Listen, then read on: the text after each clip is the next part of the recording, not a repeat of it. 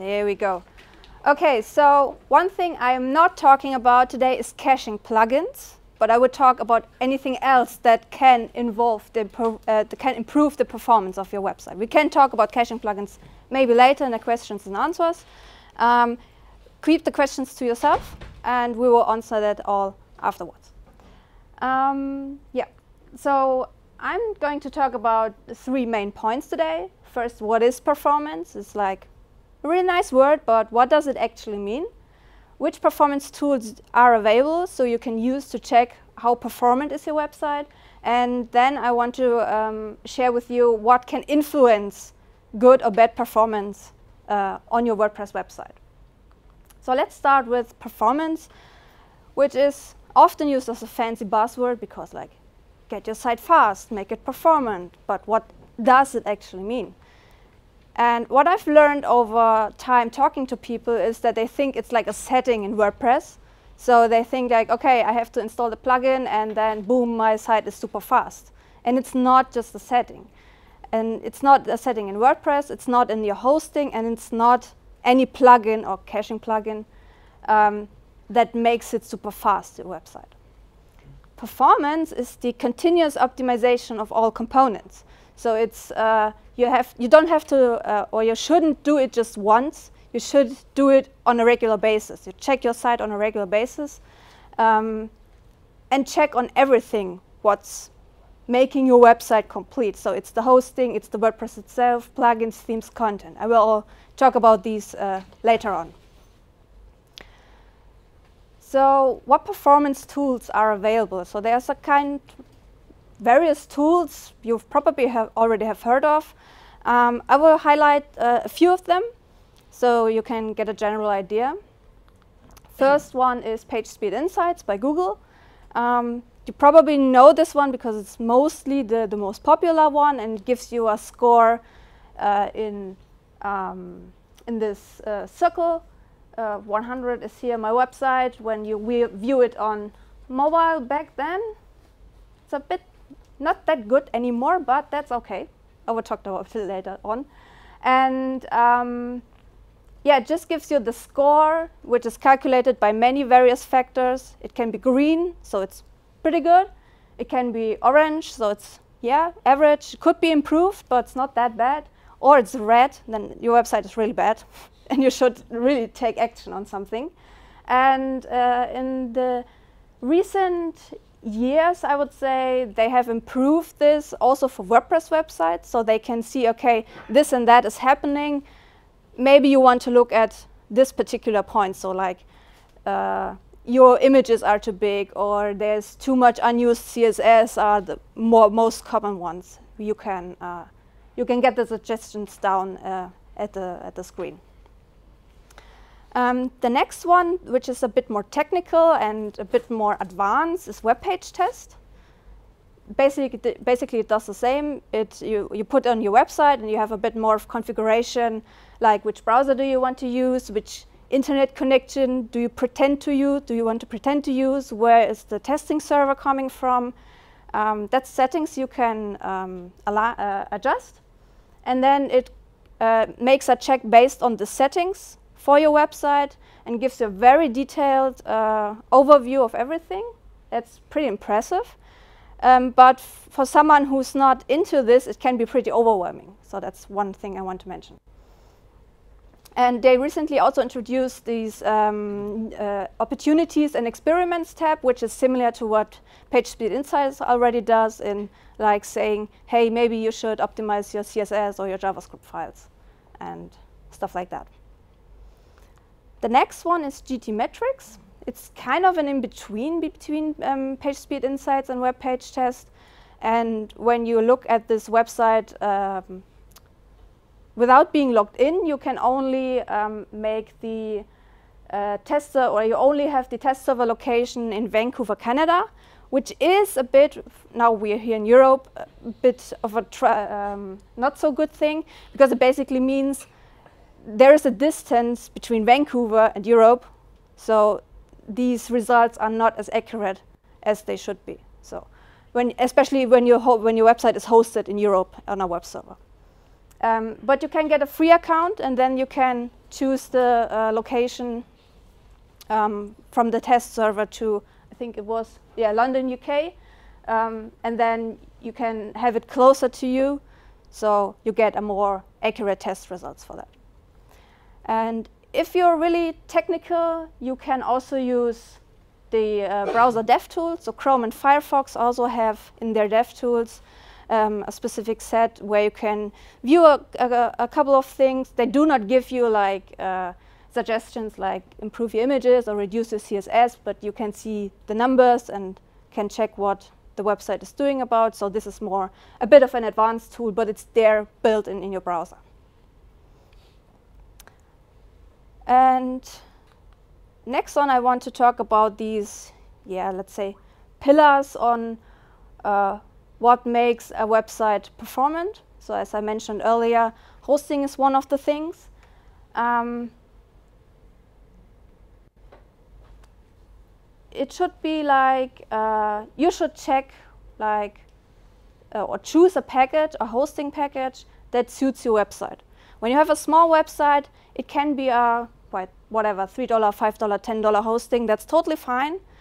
But for example, if you want to go for a WooCommerce shop, and WooCommerce is a plugin that is heavily using server resources, um, then you shouldn't go for the cheapest uh, hosting package. You should like upgrade it to something more bigger, more powerful, so that your uh, server can serve the web WooCommerce website uh, really well. Um, and also, may you may want to start out now on a smaller hosting package because your website is brand new. There's nothing specific on it. But over time, if your website grows, you should check back maybe if you get now 100 visitors a day, that's fine. But if you like in two years' time get hundreds thousands of visitors every day, I don't know if a $3 or 3 euro hosting package is going to serve you well at that point. Um, I've heard a story too where a host really uh, had to block or cancel a hosting package because that person like completely overused it on a very small hosting package and had like thousands of visitors every day. So that's what it was really a really big number. So it's very rarely happening, but it does happen if it if it really gets out of out of hand. The next thing is WordPress itself. Um, of course, have the latest version running if you if it's possible for you. I know sometimes you want to stay on an older version of WordPress, but then please make sure you have the latest security updates on. It's always good. And on production sites, disable WP underscore debug, which is also like giving out extra content which is not needed, not just for performance issues, but because also for security issues. And um, WordPress is an important thing now that there is a performance team, a performance core team who's actively working on improving the core WordPress. So it's more important than ever that you have your website up to date within uh, new on the newest version, so you can make use of what is changed in WordPress to improve the performance. Next up, we have themes.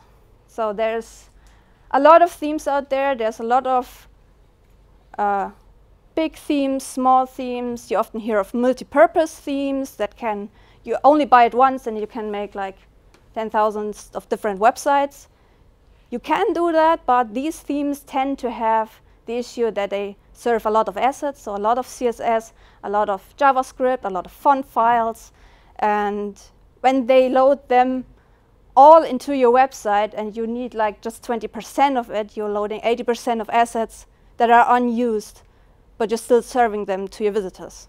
So you maybe want to look into specialized or performance optimized themes. There are a couple of them on the market. Um, yeah, research for ratings or recommendations. And of course, now with full site editing coming, or it's already there, but it's getting more and more um, stable and uh, gets more features, so it's actually useful. It's always good to like keep an eye on it and maybe experiment with it, even if it doesn't fit for your website yet, because it's really great improvement of performance because it reduces the amount of files you have And WordPress core is basically natively giving you a lot to uh, have uh, or to make use of full site editing to have a performant website. Then up we have plugins. This is probably the biggest thing um, where a performance can be bad because of many various factors. In general, use as many as necessary, as few as possible. That's my general rule personally that I've um, found out over the years that it makes most sense. There, the, there is this myth of like don't have more than 20 plugins, 30 plugins, 50 plugins. Forget about it. It doesn't matter how many plugins you are. The quality of the plugin is the most important thing. It's um, you can have a plugin, a small plugin that is badly coded that causes your website to do lots of operation, unneeded operations, and then therefore, um, yeah, makes your site slow. And you can have like 100 good coded plugins, and it doesn't matter at all. So don't just rely on the number of plugins. It's basically the quality of plugins that is important. Of course, I said earlier, like WooCommerce is a plugin that is um, uh, is uh, a heavy user of, of resources. So um, of course, there's not much of an alternative to that, but it doesn't mean that it's not uh, good a good use. Of course, it's it has a lot of features and it's useful for many. But then you have to look at okay, what else can I improve on my website that WooCommerce is not like the the bad player in this in this case. And of course, have a look at the WordPress plugin repository. Um, go there, and then same for, for like uh, themes. Is there a paid plugin? Are there what are what are the ratings? What are the recommendations of other people? Um, or do they even have a free version of the plugin, um, which with a limited uh, with a limited scope that you can test out first and see maybe okay is it a good fit from just not only the functionality but also from like the quality of code or does it make your website slow at all? Um, one other thing I want to mention is the external resources. And with that, I mean stuff like Google Fonts. Okay, we are here in Europe, so GDPR is a thing. And basically everything, Google Maps, some ads, Instagram embeds, YouTube embeds, you get the point. Anything that is loaded from other websites onto your own website can slow down your website depending on how responsive the other server is. So of course, the less the better. And um, yeah, in terms of GDPR, we always need to look at it not to do it much and get the consent of the users.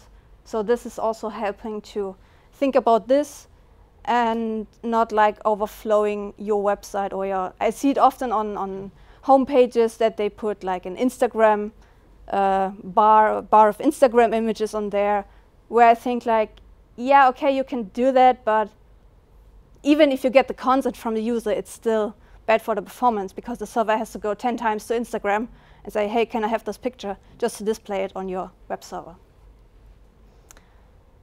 Speaking of images, it's probably one of the most uh, yeah, one of the things that's uh, that's got wrong uh, a lot. So um, one thing I noticed over time that often people just upload the image as is, because it's hey, it's coming out of my camera, it's coming out of my phone, whatever. You get a massive file.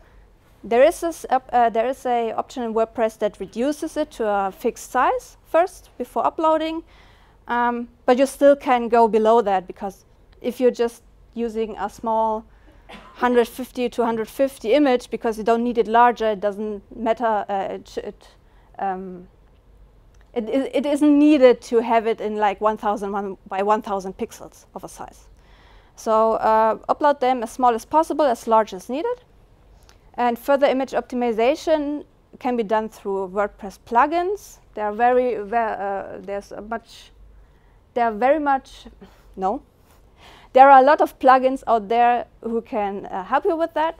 So they, um, even if you have saved them as save for web in your um, photo editor, you can still get a bit more reduction in file size with these plugins. So I always recommend having at, at least uh, one of these uh, on, on your website um, just to make the files even smaller. It's not, often they can do it so it's not visible, that it's less of an image size, or less, uh, less kilobytes, or probably not megabytes, kilobytes. Um, but it still can improve your, your website. So I once had a client who had, uh, it was a photographer. And a photographer uh, got around this, um, as I mentioned earlier, this um, uh, uh, file size um, reduction when you upload a, a, picture to WordPress. So it gets reduced to like, what is it, 2,560 pixels on maximum side. And uh, yeah, his uh, homepage had a whopping 50 gigabyte of data to be loaded.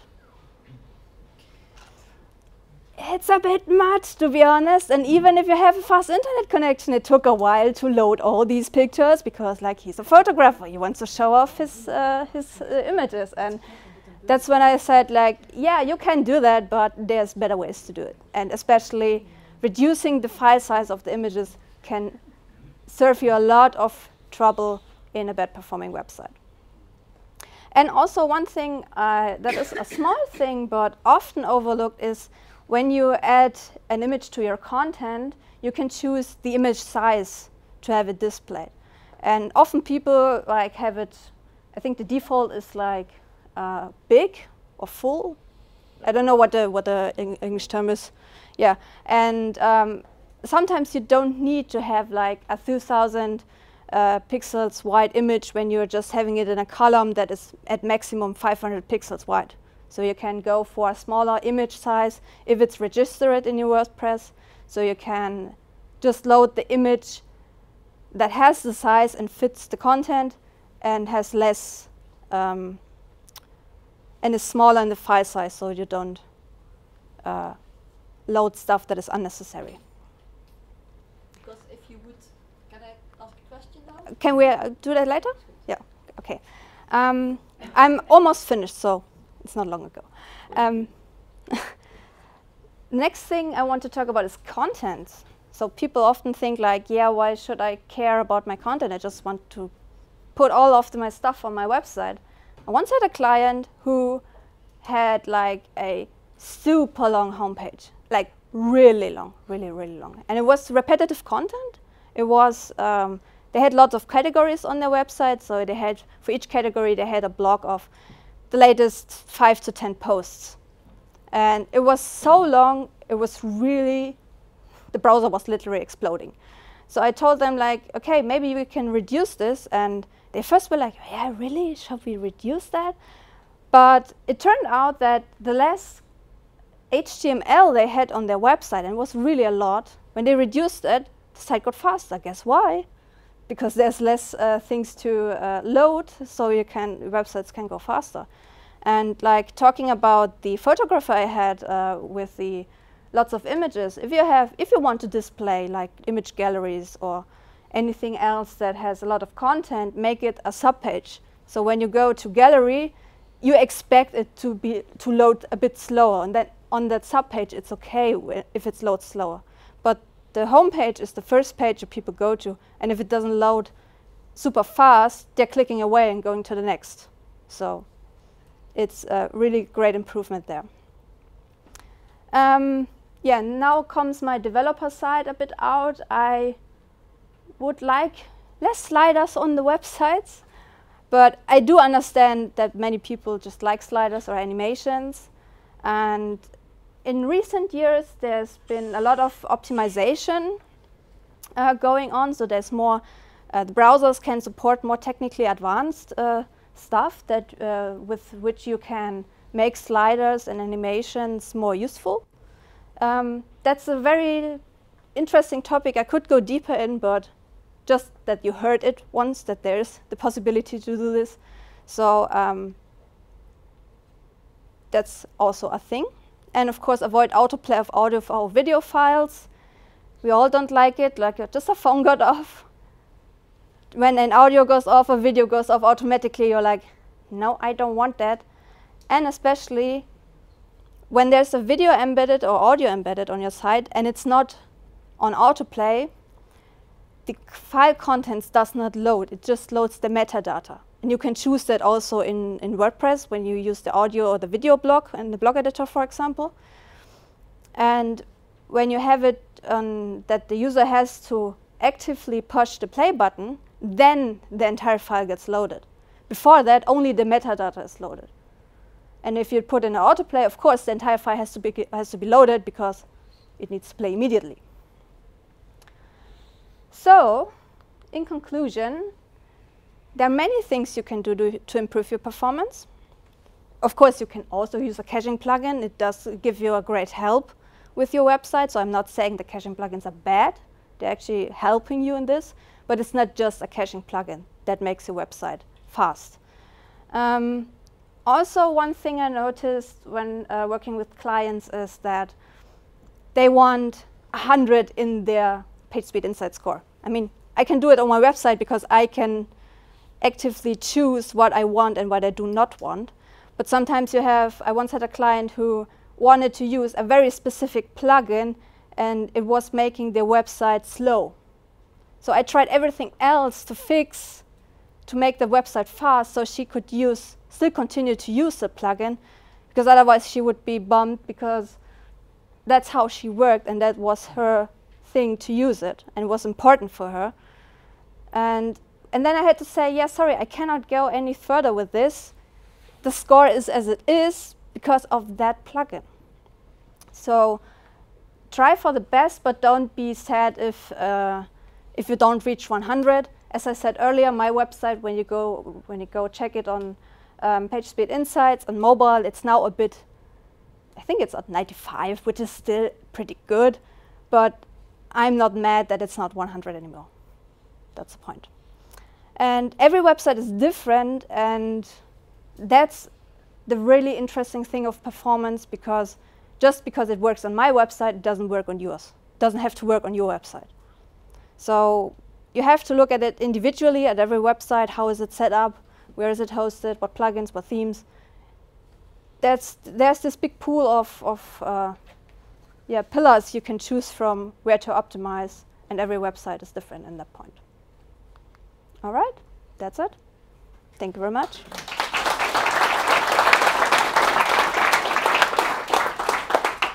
Thank you.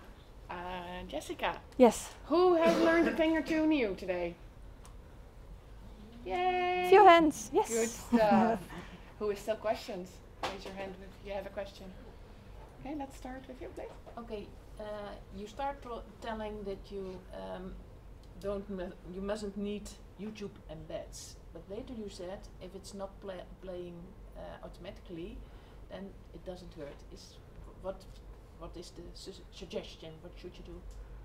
Uh, sorry, I don't get quite what you what you're tr trying to ask Um, me. If you embed a YouTube Mhm. in, in your and you don't say autoplay, Yes. does it hurt?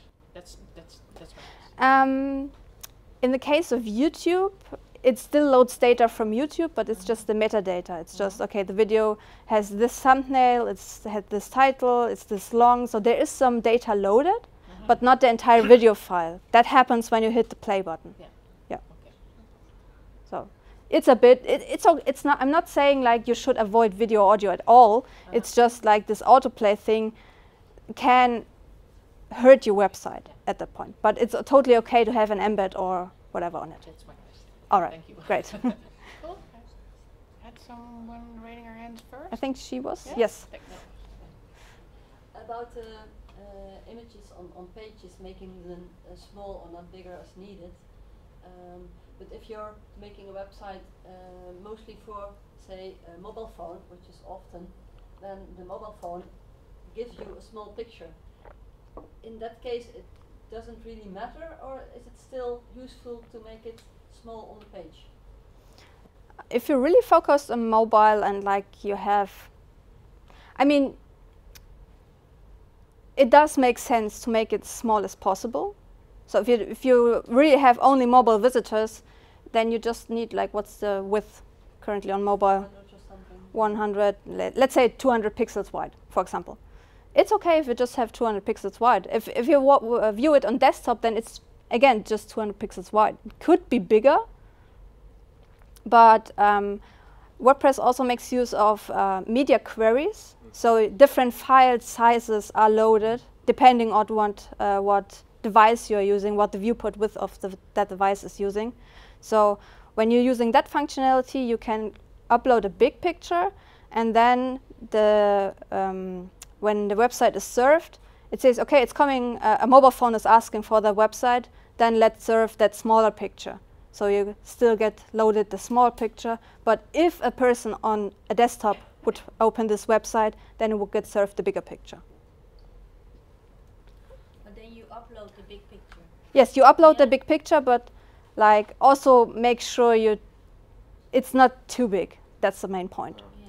That you do not lose. Uh, uh, you don't need a 5,000 by 4,000 or 6,000 by 4,000 pixels big image because nobody's going to uh, see it anyway. So it gets reduced by WordPress to 2,560 pixels, either width or height, depending on what's the bigger side. And then you can still choose to. You don't mostly if you have if you use it as a background, okay, that's totally fine to use the big one. But then if it's just in your content and your content is no bigger than 800 pixels, use a smaller size just for the 800 pixels. So you don't you don't load the 2500 pixel image. That's still a quite of a reduction in file size. But I, I don't un- sorry, I don't understand because it WordPress chooses the picture, right? Oh, so And then- no, no, you, you can you can choose the file size Oh, while importing. Yeah, I'm But uh, as I just said, like the um, the um, based on the media queries, you can all that's embedded into WordPress as well. But you can say what's the biggest picture I want to provide. Yeah. So if it's just 800 pixels, then choose the smaller one. If you need a bigger one, then use the bigger one. But on smaller devices, it gets loaded the smaller one anyway. Yes. You had a question? I have a question. Uh, you, you were telling about hosting that, yeah, don't choose for a cheaper, uh, cheap hosting if Mhm. you have a big website. But how can you find out what you need for your website so that you can see on the specs on the hosting party? Uh, Yeah, that's that's that a you need of if they give Mm. you what you need. Yeah, that's a bit of a tricky thing because you need to know what your website is about. Yeah. So, so if you just have a small blog and just post maybe stories about you or, or about something else, maybe have a few pictures on it, then most um, packages are working fine. But as I said, if you're working with WooCommerce or anything that's giving a bit more functionality or using BuddyPress, for example, so anything that where you have lots of things to do on that website, then it's a good idea to upgrade. You can, of course, I guess most hosts, uh, when you email them, they will ask, uh, or they you can ask them like, I have this plan for my website. What could I choose? And you can try that with different hosts and to see like what are are they recommending me, or you can ask any other people here at the WordCamp, for example. They were most likely going to help you out with this decision because I know it's e- it's hard for people who are not technically advanced at this point. So I cannot even I cannot even go give you right now an answer because like I need to know what your website is about. Yeah, yeah, I. That's- I that's a I was point. just wondering if there is some kind of where you can see at WooCommerce that you, You would need to learn how it works. Hosting that have Yeah. uh, like uh, two, three processors and uh, the, the REM. But generally, just if you're just starting out with a website and you have it, for example, for a local shop or something, then anything on the smaller, on the shared hosting side is fine for the beginning. And you can still upgrade later on. So most hosts allow you to upgrade later on and maybe get on a managed server or anything. So some- Just talk to some people. hosting you can grow also with your website. Yeah. You can start with a small one and then after that, yeah, you upgrade every time. Yeah. And you had another question? Oh yeah. Uh, you suggest to use plugin to optimize the image. yes. Uh, for me, of course better if you optimize before and you upload like WebP because uh, you talk about image but not about the WebP is the best format for the website. Mhm. That's because WebP is not fully supported everywhere yet. That's the big issue we are having currently in the discussion, bringing WebP to WordPress core. Because not every I think it was Safari, Safari Mobile or something. Yes, Apple is a bit behind on that. Um, I'm not sure. I, I, have to look it up. I, I can't. I can't tell you there. Yeah, also older browsers. So if you still like people still go around with Internet Explorer 11, something like that. but it's not four or six. yeah, let's let's say it's 11. So they they are at the, they have reached the end, That's and it's not four. yeah, and um, also all the browsers, and it depends also. There are regions in the uh, in on the uh, in the world who have um, not like the top-notch tech we are having here so when you're serving that, for example, on that website, I guess it's not in our general case, but then if you're serving a website that is frequently used uh, by on devices with older browsers or older devices, and you use the new fancy technology, they won't be able to see your site. So it, it it's about what your web what your website is about. Who who are you targeting with? You can of course you can go for WebP. I'm not I'm not stopping you. That's okay, but in general, it's not there yet that we can all easily use it and it always works. That's the main point. It's also what the main point of the discussion with WebP in WordPress itself is. okay. I had a question over there still. Was you? Okay, go ahead. Yeah. Uh, yeah, you mentioned I think it was in WordPress 5.6 that we got the compressed version. So as you said, yeah. Mm -hmm. WordPress is going to compress. But I'm, I'm not really sure if uh, if they also optimize the DPI. So when you upload an image of 300 dpi, if it still keeps the DPI, except only compressing the dimensions. I don't know if the current version, if someone knows if it's being depressed to 96, but on the other hand, we also have the high DPI, mm. so the Retina versions, the 2X, the 3X yeah. now we're having. So that makes it also a lot more daunting to optimize because when you go to 72 dpi, when you look at, at an iPhone, your image gets blurred, you know, because it's not really that's true. crispy anymore. So that's also a daunting task. That's a very good question. I cannot answer to be honest, but uh, that's very interesting to look up later afterwards, I guess. So we have to have to check it. Yeah, I have room for two quick questions, please. Uh, yes, when I have uh, optimized my uh, website and I uh, run GTmetrix and I think, wow, pre pretty good. Mm -hmm. Then I do it uh, again in Google Insights and on the mobile part it is very bad uh, and I don't know how to improve it.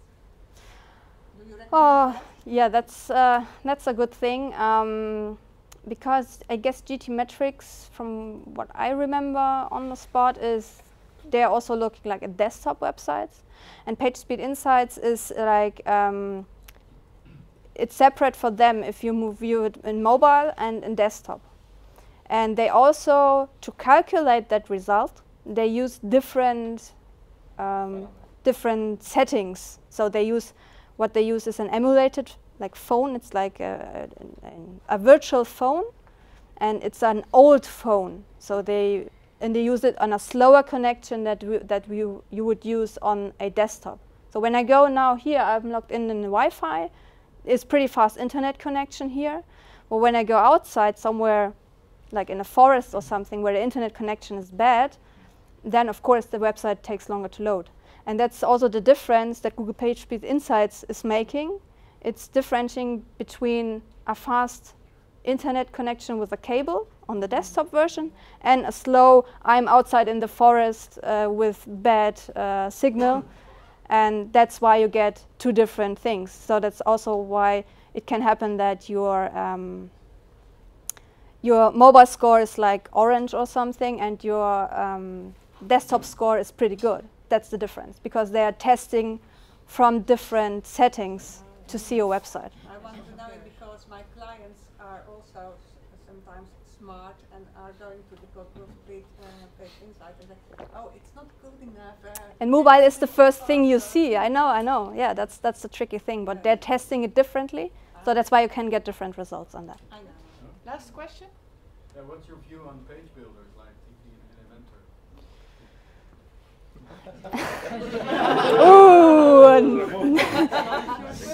Ooh, great, great question for the end. So, do you want a perspective of performance or of development?